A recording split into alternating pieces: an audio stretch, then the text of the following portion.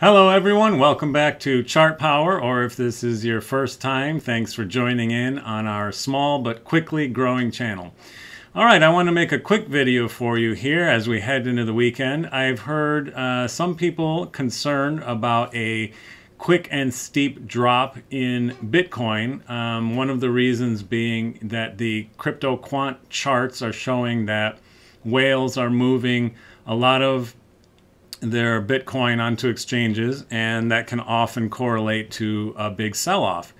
Um, I, I, would caution on that data a little bit because um, in other markets I have seen professionals um, do head fakes using that type of uh, data by putting orders in the books to scare out um, the small fish. And I don't see any reason why the big players in crypto would not also employ the same tactic. However, it could also it, it, it goes both ways. It could also be because of a sell-off because we've seen that happen in sell-offs. Um, but I'm going to tell you why I don't see a sell-off happening anytime soon. Now, one of the concerns that I have had as far as a sell-off is that Bitcoin does have a history of getting its price squeezed down into these small areas. And when it does, it breaks through the line that it has been using as support. It, it does this, it has does, done this in several uh, situations, not always, but there, there's a little bit of a history there. And we are sort of dancing on this line right now. Um, and we could see uh, it break through that line, just like in other times. But my point is, I don't see that happening right now, and I'm going to tell you why. Um, this is the Bitcoin chart, and this is a video about Bitcoin, but I'm going to jump over to the total market chart because um, it just demonstrates what I'm talking about much more clearly. It's not as clear in Bitcoin, but let me show you what's happening in the total market chart. So back here, uh, from, if we measure from lows to lows, um, this low to this low is 29 bars. From this low to this low is 30 bars. From here to here is 30 bars exactly again. And from this one to this one is 28 bars. So you can see it generally for some time here since uh, since March it has been making its lower low every roughly 30 days. So to me, that that means I'm not really expecting if a drop was going to come through this line of support, I'm not expecting it any anytime soon. Not that it can't happen. Okay, I'm not this is not financial advice. I'm not your financial advisor, but if we look at the trend that we are in and of course, trends are very powerful in financial markets, the trend is that there it makes a move every 30 days. All right. So even if it was going to drop through, I wouldn't expect it to do that until some point around here. And uh, one more piece of data as far as that goes is just the fact that uh, it didn't reach a lower low on this last move.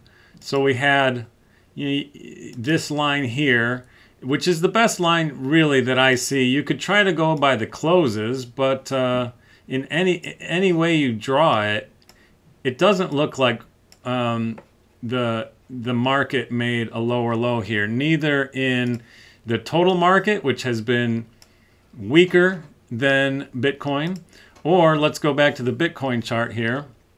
Bitcoin failed to make a lower low. Now, personally, when I'm expecting something to happen in a market and that thing doesn't happen, then I sort of, you know, have to rearrange my my prediction. I'm always taking in new data.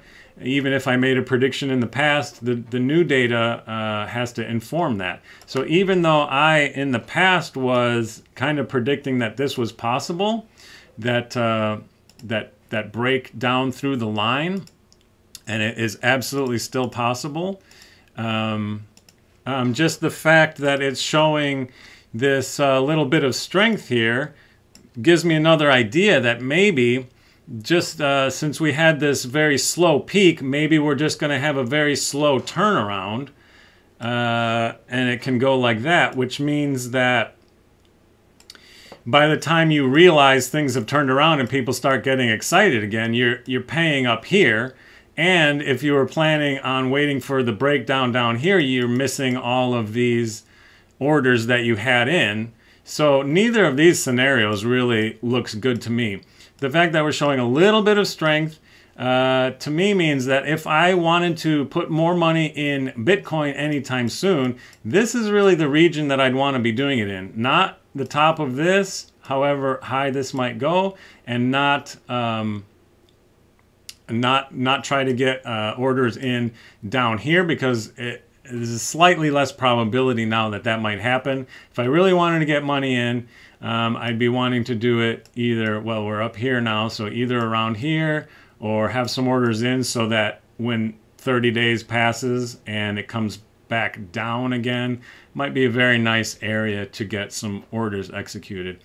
Um, and uh, you know we see we see this uh, pattern happening in uh, Ethereum as well. A lot of the uh, a lot of the coins have a line that they are bouncing along. So yes, the question is, is it going to do that, or is it going to do is the line going to hold and and uh, there's that history with it breaking down but now just the fact that it has not reached a lower low or even the same line let me put a horizontal line in there so it's more clear um, why why didn't Bitcoin get to either of these lines uh, showing a good little bit amount of strength there. And that might be part of this long, slow turnaround. Or maybe when it gets down here, this is just a really short term uh, type of you know wobble and the next time it does it and then the next time it goes through. Okay these are all possible scenarios. But definitely this what just happened is really interesting to me and i'm going to be keeping my eye out for what's going to be happening in the future. So this pattern was not as clear in bitcoin. I so i showed it to you in the total market chart but i am certainly expecting something like this if the pattern is to continue, I'm not worried, at least in the short term, that the market is going to crash down lower. So we'll keep our eye on those things and see what happens. If you found this information useful, please give me a thumbs up. It really helps out the channel. And if you want to follow along as I track this information in the future, please consider subscribing to this channel. Thanks for joining me, and I'll see you next time. Bye-bye.